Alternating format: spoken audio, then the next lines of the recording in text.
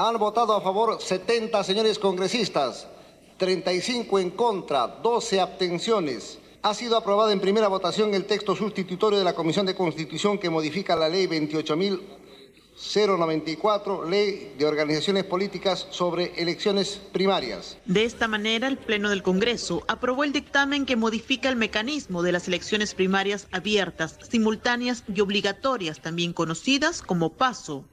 Una reforma aprobada en el 2019 con el objetivo de abrir la selección de los precandidatos de los partidos políticos a la ciudadanía y que este proceso no se restrinja solo al criterio de las cúpulas partidarias. La propuesta fue sustentada por la congresista de Fuerza Popular, Marta Moyano, presidenta de la Comisión de Constitución.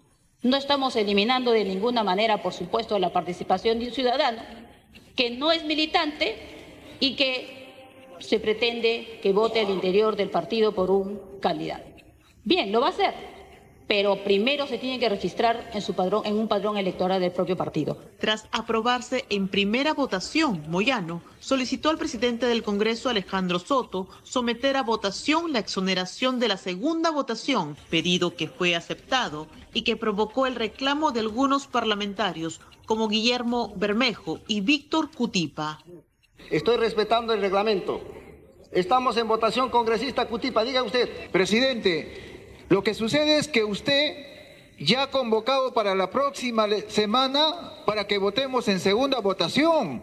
Es cierto, yo he solicitado que esto se debata dentro de los siete días posteriores hábiles. Un momento, permítanme hacer la aclaración, señores.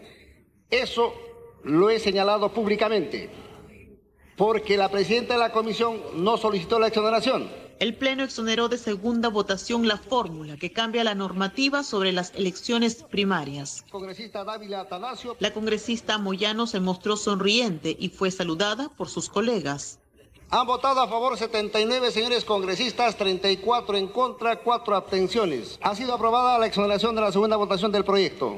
El congresista no agrupado Alex Flores insistió que se faltó al reglamento ha sido totalmente irregular. El presidente del Congreso haya dicho de que será sometido a, después de un debate eh, en dos semanas, ¿no? como corresponde. Empoderar a los partidos tradicionales, a los partidos que han fracasado, al fujimorismo, al acuñismo. Esta ley fue aprobada en el penúltimo día de legislatura ordinaria